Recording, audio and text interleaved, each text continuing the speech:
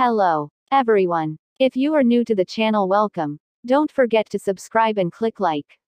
Now back to Ascendance of a Bookworm. Winter preparations. I intended to immediately start making faux papyrus with the gathered stems, but unfortunately, life got in the way.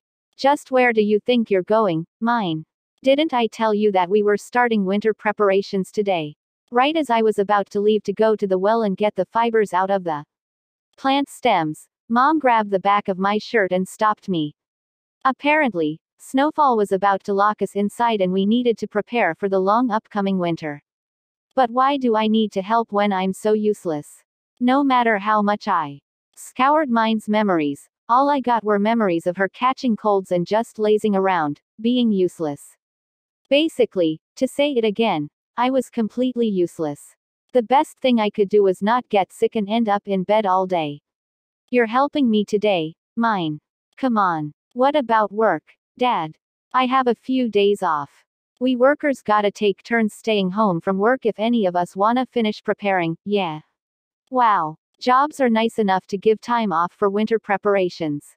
I didn't expect to see that kind of working class benefit in this world. Or maybe winter preparations are just so rough that they're impossible without a man around the house. Either way, it was rare for Dad to be at home and spend a lot of quality time with me. As you might expect from his occupation as a soldier, he was more of a meathead than anything and generally spent his time with Tuli, who was healthy enough that he could take her places without worrying. But now that everyone was home, I had no opportunity to escape, and since Dad had specifically requested my help, I had no choice but to give up and obey. What do we need to do? Dad answered while squatting in front of a window and preparing what looked like carpenter tools. Today we're gonna check to see if anything needs fixing. The shutters will be locked tight during snowstorms, so we need to make sure none of the hinges are loose or rusted.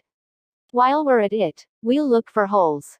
Once we're done with that, we'll clean the chimney and furnace so we can use them without issue over the winter.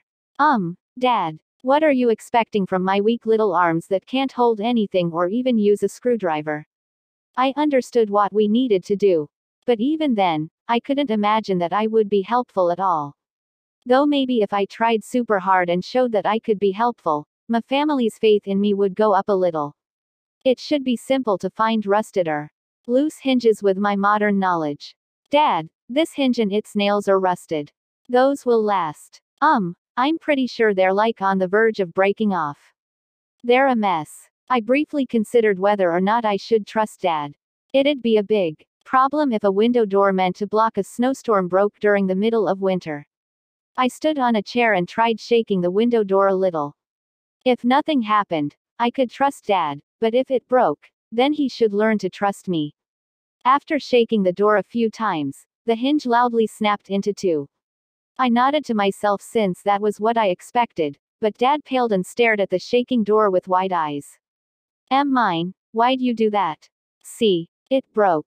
I told you it wouldn't last all winter.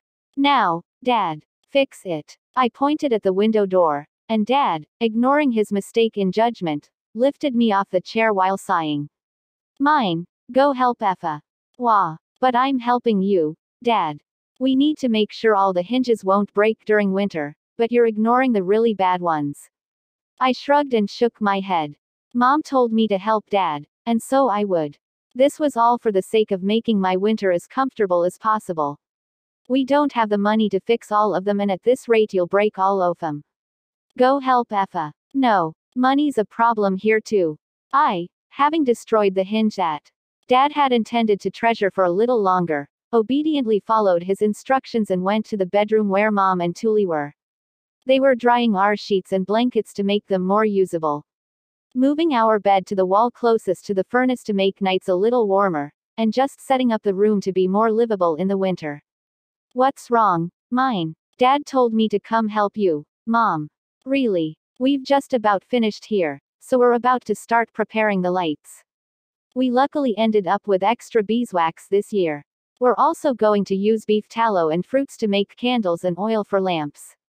That all sounded like a real pain.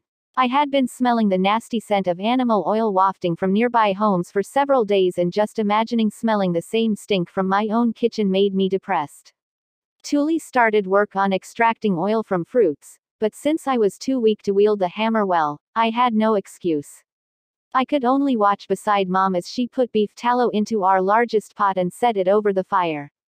It stinks. So bad. Stay strong. Me. Despite the smell being so bad I could barely breathe, mom casually melted the tallow and picked out the drags that rose to the surface. Surprisingly, however, that was all she did before starting. To finish up. Wait, mom. That's all. You're not going to salt it out. Hem. Come again. Oh no. I guess this is obvious, but salt it out didn't get translated. Mom shot me a little glare that said, Are you complaining about my work? But I swallowed my fear and tried to explain what salting out was in as simple terminology as possible. Um, you put salt water in and then boil it a bit to get more junk out. Salt water. Uh huh. If you leave it for a bit afterwards, the oil will harden on top and leave just the salt water on bottom, right? You can pour out the water and then just use the pure oil. It's a bit more work, but the oil will smell better. And be higher quality. As if reacting to the phrase, higher quality, mom began salting the oil out. The quality of oil we make here was a matter of life or death for me. After all, we'd be using the oil in a closed room. I wouldn't be able to survive a stinky home for an entire winter. Well, I couldn't tell her exactly what ratio of salt water to oil is best, but it should still end up better. We went with a pretty arbitrary ratio, but thanks to the salting, the yellowed tallow became a pure white. The tallow was then split into parts, some to be used for candles and some to be used for soap come spring. The candle part was put back into the pot and melted again. As an aside, the tiny chunks of meat that came out after filtering the tallow were used as a pretty tasty soup base. Yum yum. After eating lunch, we got to work making candles. Okay, Tuli, I want you to start making candles now. Gunther and I need to prepare the firewood. Okay. Wait. What's my job? All three of them started their own jobs, so after a moment's thought, I followed mom out of the front door. Maybe, go help your mother, included this. But after noticing me, mom told me to go back inside. Myne, help Tuli make candles. Be sure not to get in the way. Okay. Sheesh, why did they trust me so little? I returned to the kitchen and saw Tuli cutting strings into identical lengths and hanging several of them at a time from little sticks. She then took a stick and held it such that the strings dipped into the pot of melted tallow before lifting it up and down. Over time, the oil sticking to the string hardened, fattened, and began looking like a candle. Wow, so that's how you make candles. Don't just watch. Myne. Help. Tuli was mad, so in order to help, I grabbed some smell blocking herbs and stuck them to some of the hardening candles. If these worked, I would put more herbs into all of them. Myne. Don't play around. Just these, okay. Don't you want candles that don't stink too, Tuli? Please. Definitely just these, understand. Tuli drove that home, so I gave a big nod. I didn't know whether it would work or not, so I had no intention of messing with all of them. I put different herbs into each candle so I would be able to see which worked the best. While Tuli and I made candles, our parents were preparing firewood. Without it we would undoubtedly freeze to death, so making sure we had enough ready was absolutely vital. Dad took both the wood Tuli had picked plus extra wood we bought and used an axe to chop it all into 50 centimeter long sticks. Mom then took the cut firewood and brought it to the winter storeroom. Where are you going, Mom? I was so surprised to see Mom going into a room I didn't know about that I followed after her. It was news to me, but there was another room inside our normal storage room. Apparently it was generally only used for winter preparations. About half of the room was already packed with tons of wood. Wah! I didn't know about this room. It's our winter storeroom, remember? How could you even forget that? Myne. Speaking of which, I had been wondering where Tuli put all the wood she came back with. Now I knew. Since the wood we normally use was put in the general storage room, I never noticed there was another one deeper inside. It's cold here. Of course it is. This room is the furthest from the hearth. Our home didn't have anything fancy like a fireplace, so the hearth slash Makeshift oven in the kitchen was the only source of heat in the entire house. We would generally spend all of our time there. And now, our beds were pressed against the singular wall separating them from the hearth. As long as fire was burning inside, which was when we children went to bed, it was surprisingly warm. But it was only warm at the start. Mom would put out the fire before bed, so the room was ice cold in the morning. On the other hand, this winter, storeroom was the furthest room in the house from the hearth, so it was super cold. It was the perfect place to put preserved food, oil, and other things we needed for the winter. In other words, it was a natural fridge and we didn't want it getting warm. There's lots of firewood here. It's still barely enough, you know. Even though half the room's full. I looked at all the firewood stacked in the winter storeroom and the word, deforestation, passed through my mind. If a single family burned this much wood, how much wood was the entire city using? Myne. Don't start daydreaming. It's time to prepare for our winter handiwork. I'm not daydreaming. I protested, but mom was already heading to the kitchen. I hurriedly chased after her. I didn't want to be left alone in a dark room with no windows. Mom, what do you mean by handiwork? Well, men fix the tools they use at work, I suppose. If we intend to make new tools or furniture, we need to gather the materials ahead of time. So it's like work we do over the winter while stuck inside. Mom nodded while counting how many spools of thread we had. That's right. It's important that we women make clothes, remember. We won't be able to do that without preparing thread and dyeing cloth ahead of time. I've already finished all that since I work as a dyer, but we still need to prepare the wool and plants like nylon that we'll be weaving next year. Huh. Not to mention, Tuli's baptism is next summer. I need to prepare her special dress during the winter. Mom looked around with a deadly serious expression, making sure she had everything she needed. I got the feeling that I would just get in the way no matter what, so I slid back over to where Tuli was.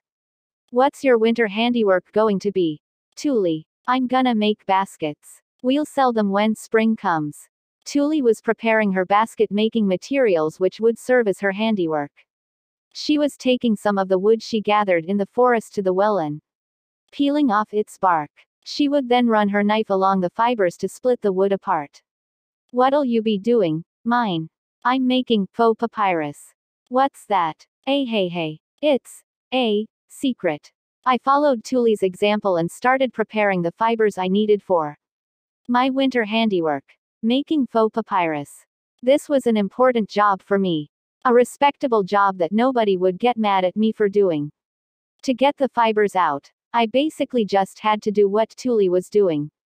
Probably. Peel off the outer layer of the stems, soak them in water, then dry them. Winter preparations began before Tuli and the others could get too many stems, so I decided to just take them all apart for fibers. Tuli, I want some water too. Okay. Tuli, how do you think I should get just the fibers out of these stems? Wah. Um. Tuli, they won't get blown away if I dry them in the window, right? I bundled up the completed fibers. There weren't many of them, but there were probably enough to make one or two sheets of faux papyrus. With that, my own winter preparations were more or less finished. Phew. I worked really hard here. Wait, what? Is it just me or does Tuli look annoyed? To be continued. Please click like and subscribe to my channel. I would also like to hear from you, so drop me a message on the comments section. Till next time. Bye bye. Disclaimer. I do not own or claim any ownership rights over any of the graphics, images, songs used in this video. All rights reserved to the respective copyright owners. All the videos, songs, images, and graphics used in the video belong to their respective owners and I or this channel does not claim any right over them.